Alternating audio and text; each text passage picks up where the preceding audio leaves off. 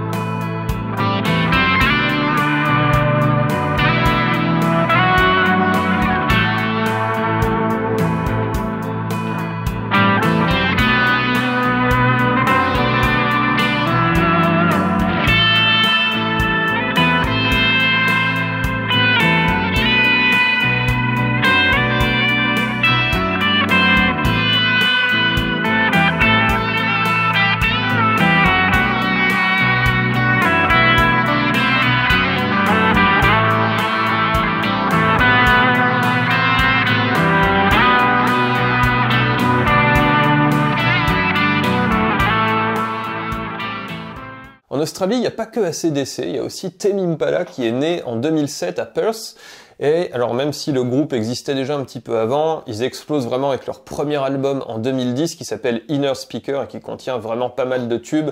Il y a notamment euh, It Is Not Meant To Be, Desire by Desire Go. Voilà, vous pouvez aller les écouter, celles-ci elles sont vraiment très cool et ça reflète très bien l'essence du groupe.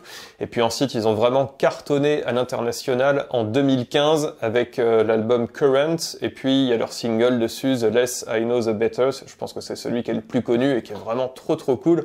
Donc moi je me suis suis inspiré un petit peu de tout ça pour faire ce tuto aujourd'hui. Alors il faut savoir que finalement Tame Impala c'est surtout une personne, c'est Kevin Parker, c'est lui qui compose absolument tout et ensuite il se fait accompagner de musiciens pour les lives. Donc c'est évidemment un multi-instrumentiste de génie qui est tout aussi à l'aise derrière une batterie qu'un clavier ou qu'une guitare. D'ailleurs il a un son qui est vraiment super cool à la guitare dans les lives. Donc voilà, aujourd'hui on va pas vraiment faire d'études de style à proprement parler parce que Temi Impala c'est vraiment ce mélange de tous ces instruments euh, nés d'une même personne. Mais ce qui est intéressant évidemment c'est d'aller un petit peu comprendre ce côté psychédélique, ce son complètement tournoyant, cette atmosphère voilà qui nous emmène un petit peu dans un espèce de mantra. Et c'est ça que je trouve très réussi avec ce groupe.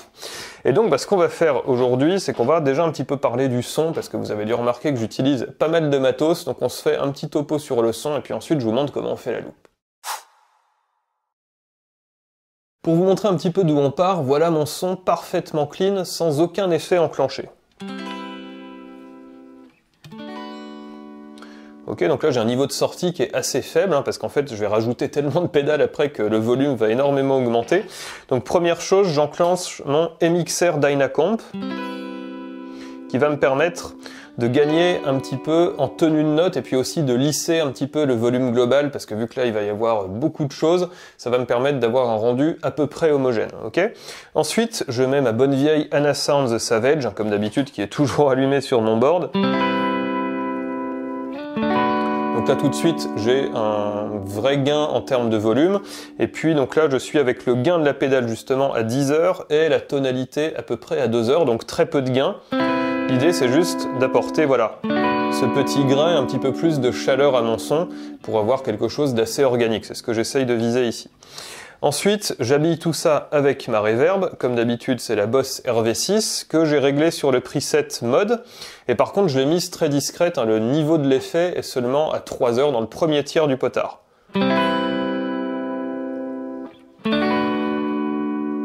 Mais là, du coup, vous voyez que j'ai déjà un très léger effet tournoyant qu'on entend très peu, un petit peu dans, la réverbération, parce que sur cet effet de mode, il y a un petit chorus en fait qui est intégré. et ça va me permettre d'aller chercher justement un son voilà, un petit peu plus planant. Mais ça, c'est que le début, puisqu'évidemment, là où je vais vraiment envoyer la sauce, c'est avec mon Anasounds Utopia, donc qui est le delay de chez Anasounds, que vous connaissez bien aussi, que j'utilise depuis les débuts de Guitar Plug and Play.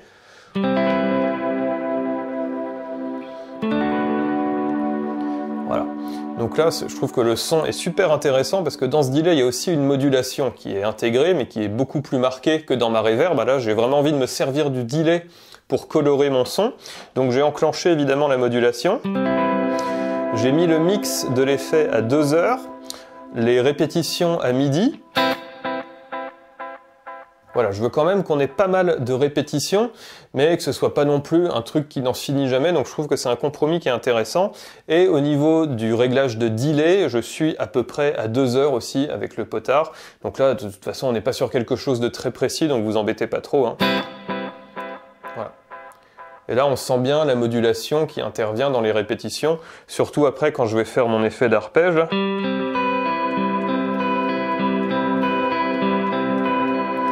Vu que j'ai les répétitions qui vont commencer à, s'accumuler, ça va faire d'autant mieux ressortir la modulation.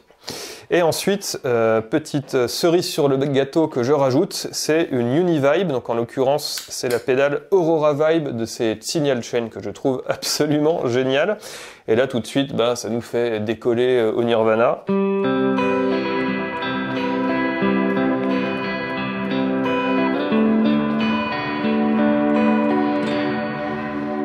Que le grain est juste magique, quoi. Alors que ce soit pour faire ce type de son, aussi tout ce qui est plus classique du type Hendrix et tout, ça marche hyper bien. Mais dès que vous voulez apporter un effet psyché, cette pédale, elle est vraiment trop trop cool.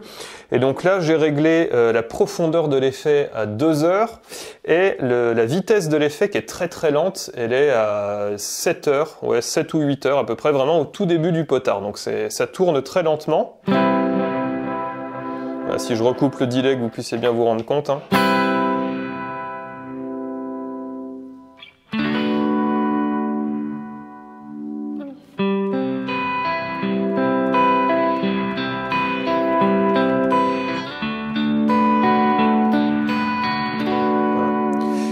Au niveau de mon chaînage, elle est placée avant le delay. Donc ça, c'est un choix de ma part parce que je veux que du coup le delay prenne justement cette modulation de la vibe pour que ça ajoute encore plus d'effets de vague.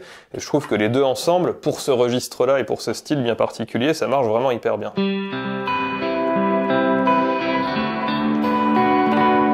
donc là, on se retrouve avec notre son bien psyché, bien planant. Et ensuite, pour la partie basse et pour la partie solo, je vais me servir d'un octaveur. Donc c'est le Boss OC5 hein, que j'utilise aussi depuis très longtemps. Donc là, ça va me permettre d'aller chercher ce son vraiment typique de chez Tame Impala, même si eux, ils le font sûrement plutôt avec un synthé qu'avec la guitare, mais là, ça nous permet vraiment de s'approcher du truc.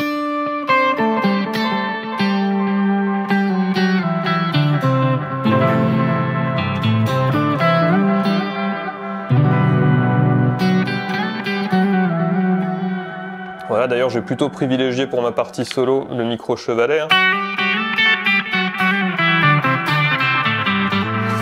Et du coup, on n'est plus à une pédale près. Sur le solo aussi, je rajoute mon Ego Driver, toujours de chez Anasounds, qui est un overdrive un peu plus péchu que ma Savage.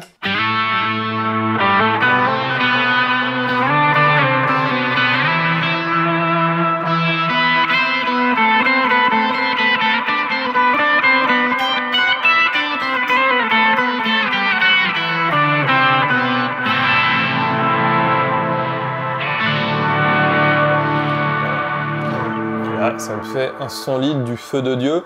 Donc évidemment, vous n'êtes pas du tout obligé d'avoir toutes ces pédales sous les pieds pour pouvoir vous amuser. Si vous avez un multi-effet, vous allez pouvoir retrouver à peu près tous ces sons-là dans votre multi sans problème. Et puis surtout, si vous n'avez pas de drive comme moi, vous pouvez très bien pousser un petit peu plus le réglage de gain de votre pédale ou alors faire tout le début en baissant le volume de la guitare et puis sur le solo réaugmenter euh, le niveau de sortie de votre instrument. Donc voilà, évidemment, il y a pas mal de solutions. Mais bon, voilà, moi j'ai de la chance, j'ai plein de matos sous les pieds, donc j'en profite. Et j'espère que ça vous fait bien triper d'avoir ces jolis sons pour les tutos. Et du coup, bah maintenant, on va rentrer un petit peu dans le vif du sujet, puis je vais vous montrer comment j'ai construit ma loupe. Ma rythmique, je veux vraiment qu'elle soit à l'image de mon son de guitare, c'est-à-dire quelque chose de très tournoyant, de très répétitif, qui nous plonge un peu dans une espèce de transe. Donc je vais partir d'un truc très très simple, on a uniquement deux accords, en fait on est sur une base de La mineur, je prends en barré ici, et de Si mineur.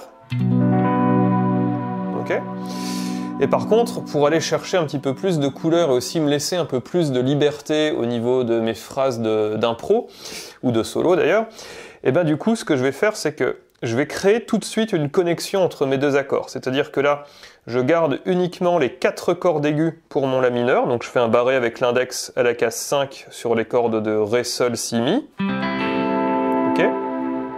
Et je viens poser mon petit doigt sur la case 7 de la corde de Mi aiguë. Donc là, en fait, je rajoute la neuvième, hein, ou la seconde, euh, dans mon accord, la seconde majeure. Et cette note-là, c'est un Si, c'est la fondamentale de l'accord suivant.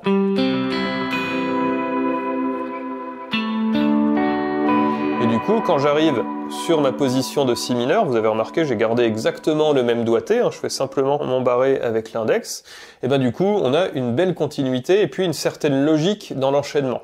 Et ça, c'est quelque chose qu'on entend très souvent dans le style de Temi Impala, ils ont beaucoup de notes pivots comme ça, en fait, qui vont faire la connexion entre différents accords. Et ensuite, au niveau de, mon arpège, alors je fais vraiment quelque chose de très simple, ok, là l'idée, c'est pas d'aller... Euh, se prendre la tête d'un point de vue technique, on veut au contraire faire quelque chose d'assez souple. Et donc là, en fait, je vais simplement ben, faire deux coups de médiator vers le bas sur les deux premières cordes. Et ensuite deux coups de médiator vers le haut sur les deux cordes aiguës en partant de la corde de mi.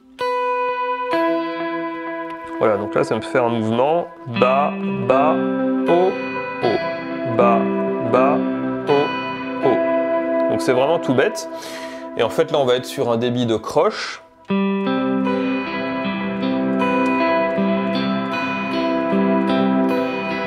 avec deux mesures du coup sur chaque accord, donc à chaque fois ça me fait 2 fois 8 en termes de, de placement, ok?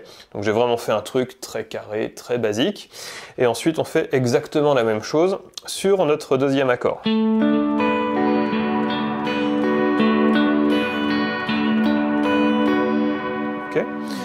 Pour faire ma loupe, je me suis mis à un tempo de 108 BPM, j'utilise Simple Beat One sur mon looper Boss RC500. Si vous n'avez pas de looper, si vous vous posez des questions sur lequel choisir, etc., regardez la vidéo qui s'affiche là-haut, vous aurez plein de conseils. Et ce que je vous conseille de faire sur ce type de loop où on a énormément de delay, c'est de gratter un petit coup avant de lancer l'enregistrement histoire que vous ayez déjà une petite nappe de son qui sera présente quand vous allez commencer à enregistrer. Et du coup, quand ensuite ça va louper, il n'y aura pas tout d'un coup un gros blanc parce qu'au début vous aviez rien. Ok?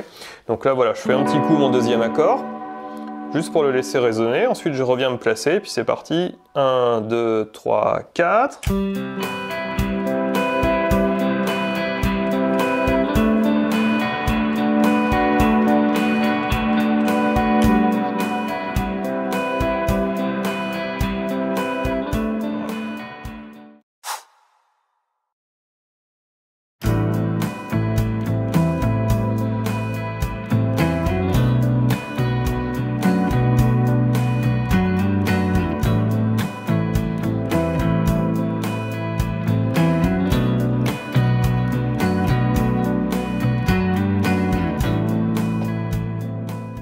Maintenant, on s'attaque à la ligne de basse et j'en profite pour vous rappeler que vous pouvez télécharger gratuitement les tablatures PDF et le backing track de ce tuto sur le site de Guitar Plug and Play.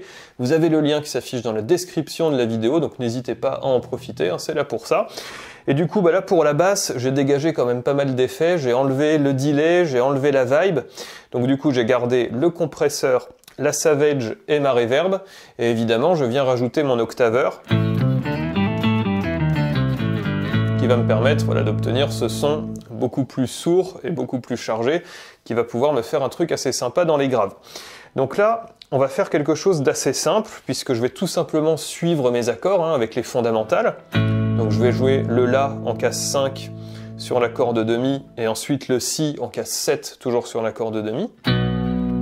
Et petite recette ultra basique mais qui marche très bien quand on veut faire un accompagnement de basse, c'est de compléter la fondamentale par la quinte ce sont les deux notes qui sont hyper stables dans un accord, donc ça fonctionne très bien. Donc là, quand je suis sur le La, casse 5 cordes de mi, j'ai la quinte en casse 7 cordes de la.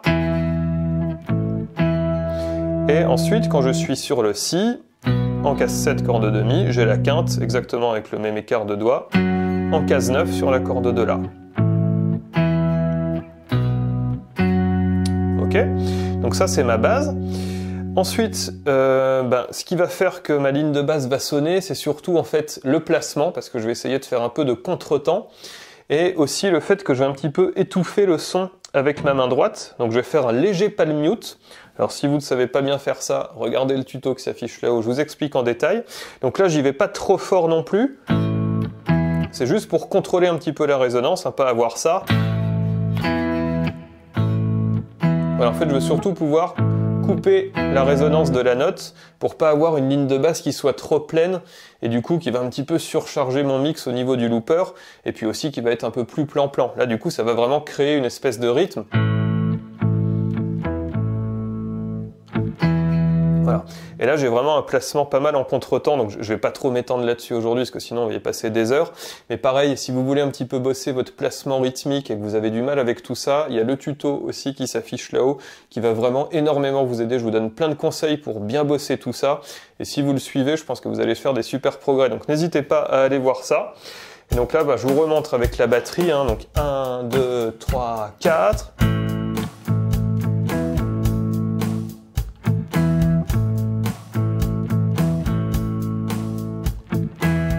Je vous mets l'accompagnement.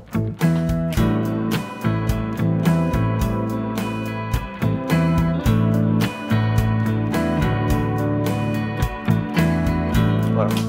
Donc là, évidemment, je vais vous montrer ensuite la ligne de basse complète, mais juste cette première position fonctionne sur toute la, sur toute la ligne euh, qu'on a enregistrée avant. Donc si vous avez du mal avec la basse, vous pouvez simplement jouer ça, il n'y a pas de problème. Donc voilà, c'était pour vous montrer le placement. Et ensuite, on va faire une petite variante sur le Si, du coup, donc c'est quasiment la même chose. Sauf que je vais repartir un tout petit peu plus tôt là sur ma petite variante à la fin, et je vais monter vers la sixte mineure. Donc là, pour aller prendre votre sixte mineure, soit vous faites un slide, vous déplacez l'annulaire, soit moi j'ai l'impression que souvent en fait je la joue avec l'annulaire et ensuite je prends le majeur pour rejouer à nouveau la quinte. Bon bref là ça va doucement donc n'hésitez pas à faire le doigté qui vous convient le mieux. Ok et donc là en termes de placement je le fais juste avec la batterie. 3, 4.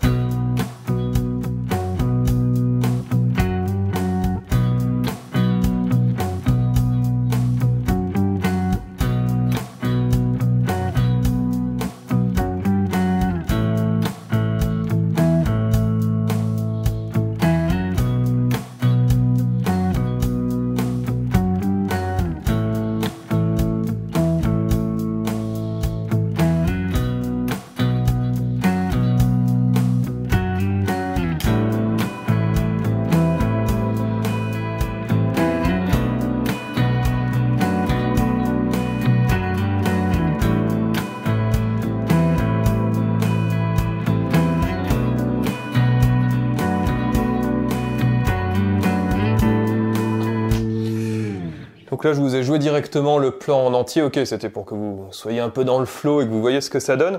Donc, vous avez dû remarquer que pour connecter du coup mes deux petits mouvements, je fais un slide. Donc celui-là, il est vraiment important parce que toujours pareil, ça amène ce côté hyper liquide, un peu lancinant au plan et c'est vraiment ce qu'on cherche ici. Donc là, voilà, je viens faire un slide avec l'annulaire hein, depuis la case 7 de la corde de La vers la case 9.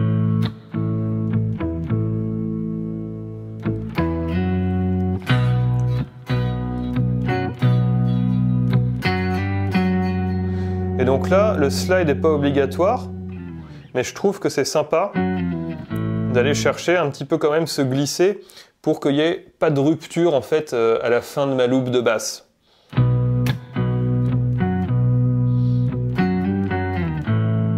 Voilà, donc celui-ci il est un petit peu optionnel, ok, mais essayez de le caser parce que ce sont des bons réflexes après avoir pour vraiment bien connecter les différents mouvements que vous faites. Et puis bah du coup on va pouvoir passer à l'enregistrement. Je relance une fois la lecture et puis j'enregistre sur le deuxième tour.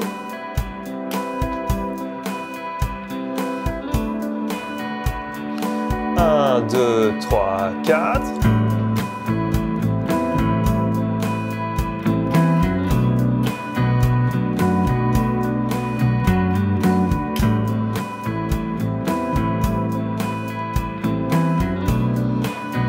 Ok nickel, c'est dans la boîte et maintenant il nous reste plus qu'à nous éclater un petit peu en solo et je vous montre tout de suite comment on va s'y prendre.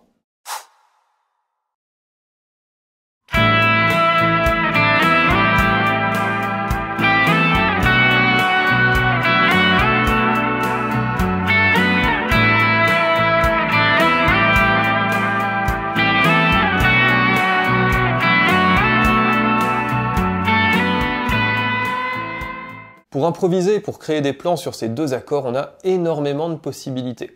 Alors, je vous ai fait un truc un peu facile, entre guillemets, parce que là, on peut considérer que ces deux accords, le La mineur et le Si mineur, sont les degrés 2 et 3 de la tonalité de Sol majeur ou de sa relative de Mi mineur naturel. Alors, je rentre pas plus loin dans les détails, si je viens de vous parler chinois, c'est pas grave, c'est pas l'objet de cette vidéo. Si par contre vous voulez comprendre ce que ça veut dire, comment ça fonctionne, ces histoires de degrés, de gamme, de comment on peut se repérer, savoir comment improviser sur des suites d'accords. Vous avez ma formation Comprendre enfin l'harmonie qui s'affiche là-haut. Vous aurez toutes les réponses à vos questions. Oui, je vous jure, toutes. Et au pire, s'il en manque une ou deux, bah, vous me posez les questions directement dans l'espace commentaire et je vous y réponds. Enfin bref, euh, aujourd'hui on va avoir une approche beaucoup plus simple que ça. On va vraiment penser accord et modulation. Parce qu'en fait, dans Temi Impala, on entend énormément de modulation. On sent qu'il y a des trucs un peu bizarres qui se passent, même si ça reste très musical. Donc là, je vous ai fait une zone sécurisée, puisque en fait sur les deux accords, vous allez pouvoir jouer la pinta de la mineur tout au long du truc, ça va fonctionner.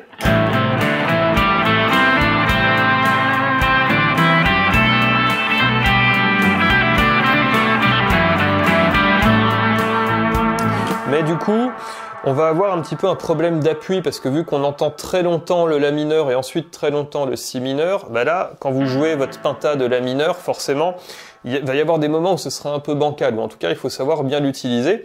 Mais en tout cas, voilà, vous êtes en sécurité, entre guillemets, parce que vous ne pourrez pas faire de fausses notes. Mais par contre, ce qui va être très intéressant, eh ben, c'est tout simplement de jouer pinta de La mineur quand on est sur l'accord de La mineur, et pinta de Si mineur quand on est sur l'accord de Si mineur. Donc encore une fois, je rentre pas dans les détails, mais en tout cas, ces deux positions vous permettent de rester toujours dans la même tonalité. Mais par contre, là du coup, vous allez pouvoir prendre des appuis différents et très naturellement, ça va vous permettre de phraser euh, assez bien en accord, justement, avec vos accords. Ah, donc petit exemple tout bête, juste en montant les positions. Hein.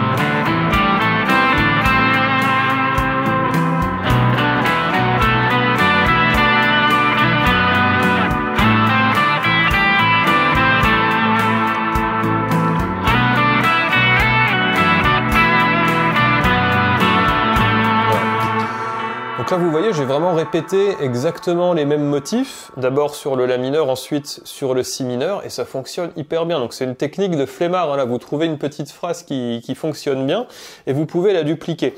Et alors du coup, bah, ce qui va être évidemment très intéressant, c'est d'utiliser ce concept de note pivot dont je vous ai parlé un petit peu plus tôt, c'est-à-dire qu'on va essayer de jouer avec toutes les notes qui sont sur la case 7, puisqu'en fait c'est le point de jonction entre mes deux positions de pentatonique. Donc ça va être très intéressant de s'y arrêter au moment du changement d'accord pour ensuite faire la bascule. Alors je vous montre un exemple très facile.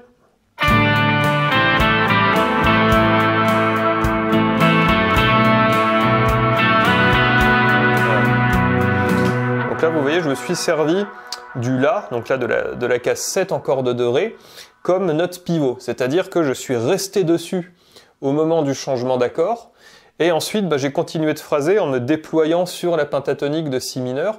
Et du coup, bah, on est toujours dans cette idée un petit peu qu'on a essayé de faire avec notre arpège de début, c'est-à-dire qu'on crée une continuité et toujours une connexion dans notre système. Et c'est ça qui crée ce côté lancinant, cette sensation un petit peu de boucle, de trance, etc. qu'on a beaucoup dans leur musique.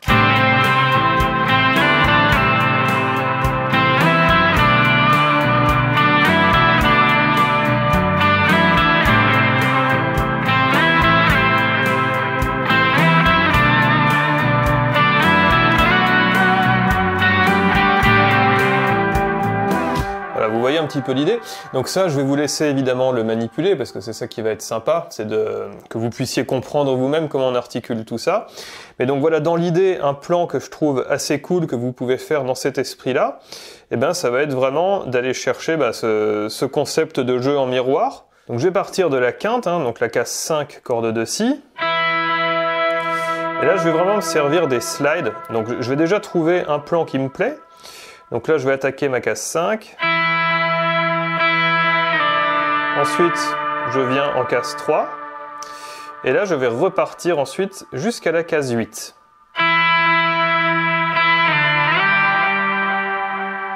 Ok Donc là, je, me permets des petites sorties de route par rapport à la Pinta.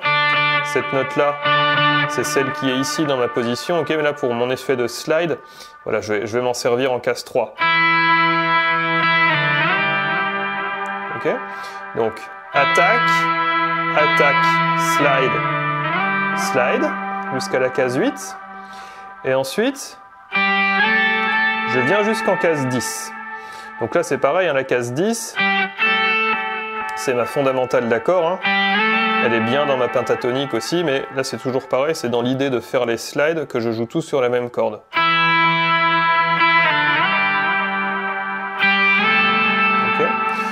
Donc là, bah, vous vous doutez un petit peu du principe, hein, c'est que je vais refaire exactement la même chose, mais décalé d'un ton sur la corde Si.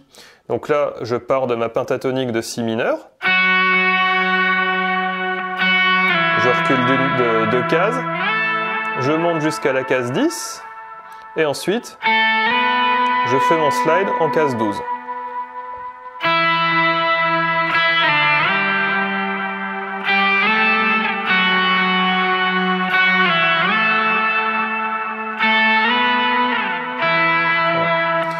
Donc ça voilà, c'est un bon exemple assez facile à mettre en place euh, de ce concept. je vous remontre en rythme 3, 4.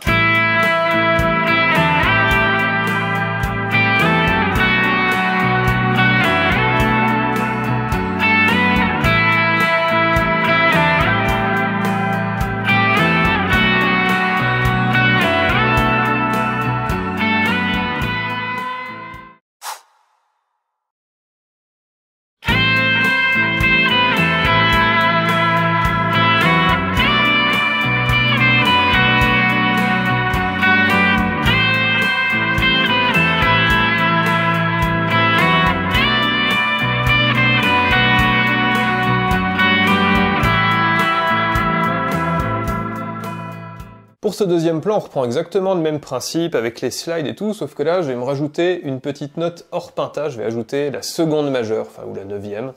Voilà, et donc, dans l'idée, quand je suis sur le La ici en case 5, bah, la neuvième, c'est celle qu'on avait déjà dans l'arpège, hein, donc la case 7. Et au passage, bah, vous notez que la neuvième, du coup, par rapport au La, c'est également la fondamentale de mon accord suivant, c'est la fondamentale euh, de l'accord de Si. Et par contre, si là je veux rester dans ma tonalité, euh, il va falloir que je mette une seconde mineure cette fois-ci par rapport au Si, qui va correspondre à la case 8. Ah, parce que du coup, bah, la case 8, c'est celle qu'on a dans la pinta de la mineure. Donc du coup, quand je joue mon Si ici, il faut que je reprenne cette note pour rester dans la tonalité. C'est ce qui va amener euh, un côté très lié euh, à mon morceau.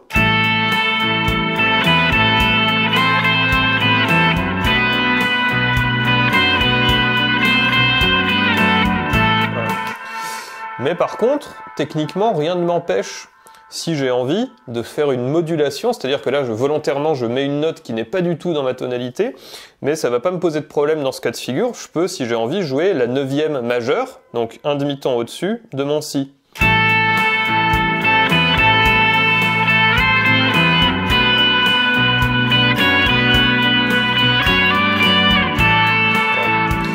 Là par contre vous voyez que ça rajoute encore plus de tension et de sentiments un peu bancal parce que là on est hors système. Mais ça peut très bien marcher, c'est typiquement le genre de petite pirouette que fait euh, Teme Impala dans ses morceaux, donc n'hésitez pas à expérimenter un peu. Et au passage je vous rappelle que si là vous ne comprenez pas tout ce que je vous raconte, c'est pas grave. Là ça laisse vraiment aussi beaucoup de place à l'exploration, ce genre de loop, donc amusez-vous sur votre guitare, allez chercher des notes. Si ça sonne bien c'est trop cool, et si ça sonne pas, bah, vous repérez la case et vous savez qu'il faut pas aller dessus, mais c'est pas grave, n'hésitez pas pas à aller expérimenter un petit peu, même si vous n'avez pas le contrôle. Et d'ailleurs, je vous rappelle que si vous avez besoin de conseils d'impro, j'ai fait un gros tuto qui est hyper complet qui s'affiche là-haut, n'hésitez pas à aller le voir, ok? Donc, pour en revenir à ce plan, moi j'ai pris le parti de rester dans ma tonalité pour faire un truc assez stable. Donc là, j'attaque la case 5, corde demi avec l'annulaire et je fais tout de suite un slide pour aller en case 8. Ok? Ensuite, je répète ma case 8 avec le majeur case 7, index case 5 et je bascule l'index en case 5 corde de si.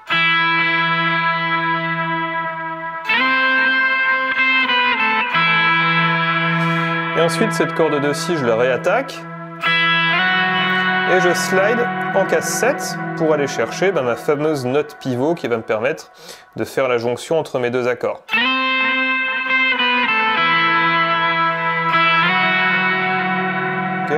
Donc après, là, je voulais jouer tout au médiator.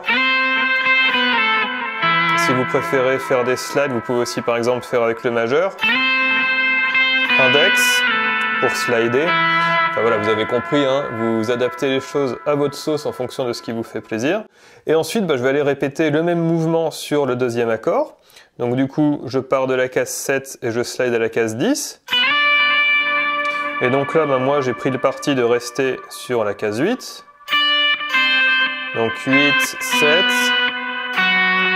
Et à nouveau la case 7. Et puis là, cette fois-ci, je vais faire un petit mouvement sur la case 8 à côté.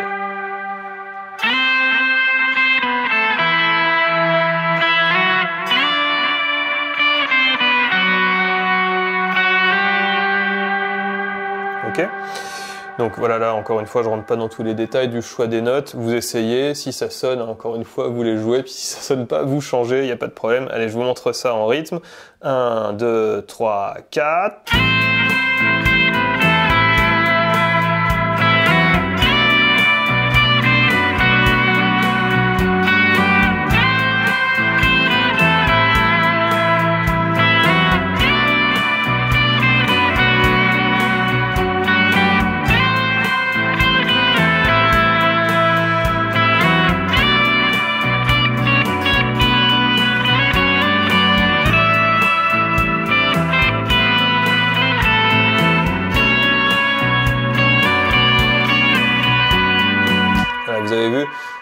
J'ai juste voulu vous remontrer quand je faisais la modulation et que du coup j'allais sur la case 9 plutôt que la case 8, comme tout de suite, ça change complètement d'ambiance.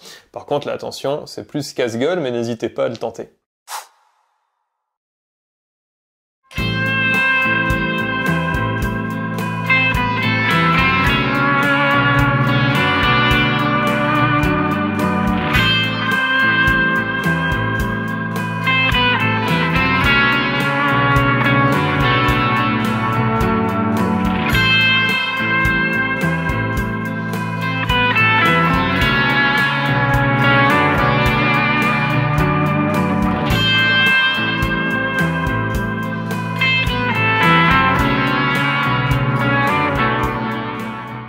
Pour ce troisième plan, on va refaire une modulation, mais cette fois-ci beaucoup plus assumée, parce que là je vais vraiment construire mon plan autour de ça.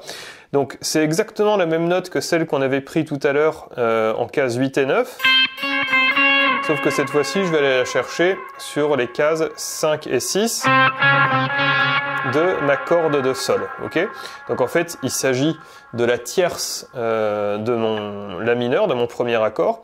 Donc je vais construire tout un plan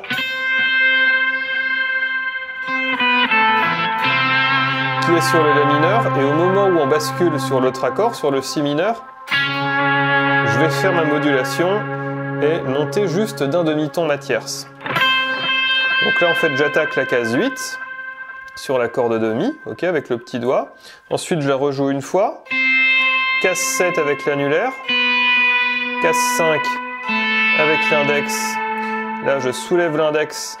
Case 5, corde de Si je soulève à nouveau casse 5 corde de sol. Et là, je viens chercher ma tierce majeure. je vous montre ce que ça donne sur le backing track.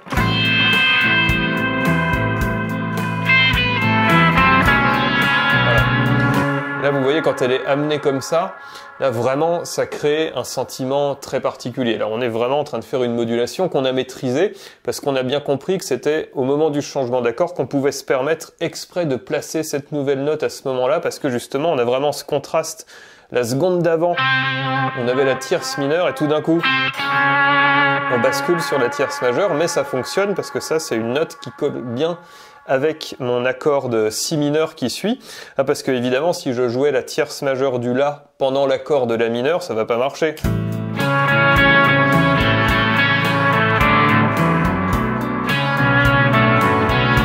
par contre, elle se met à marcher uniquement sur le si. Donc là, encore une fois, je, vais un petit peu vite sur tous ces concepts. Hein. Les amis, le but, c'est que vous puissiez vous amuser et manipuler. C'est pas grave si vous comprenez pas tout, encore une fois.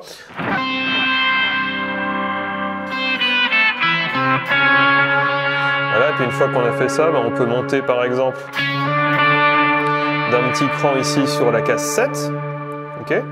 Donc là, ça va à nouveau du coup me restabiliser quand on va recommencer la loupe.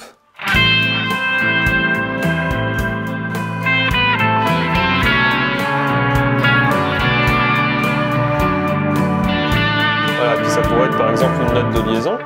Ou alors, moi, ce que j'aime bien faire, c'est répéter à nouveau ce plan.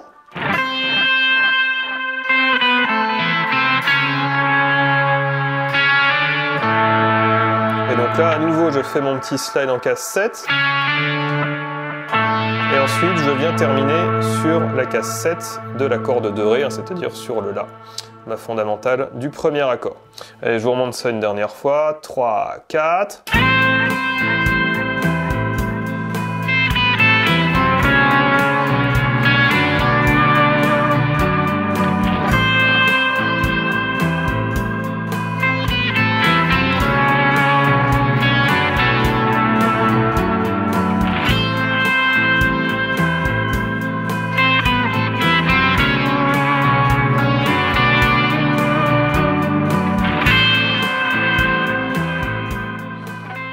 Et voilà les amis pour ce loop and play autour de Teme Impala, j'espère que ça vous a plu, que ça va vous donner envie de vous plonger un petit peu dans cet univers et de manipuler ben, tous ces concepts qui sortent un peu de l'ordinaire mais qui sont vraiment super sympas à utiliser sur notre guitare. Ben, comme d'habitude, je compte sur vous si ça vous a plu pour laisser un j'aime, un petit commentaire, partager la vidéo, vous abonner à la chaîne bien évidemment. Et je vous dis à très bientôt pour un prochain tuto. Ciao